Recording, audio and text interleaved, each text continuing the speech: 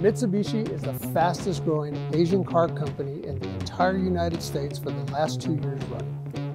In the new JD Power CSI 2019 Index, I'm proud to say that we were recognized as the top Asian brand with a 27 point increase. That's the greatest year over year improvement of any brand in the study, and that's on top of a 26 point increase last year. So over the last three years, a total of 61 points in improvement.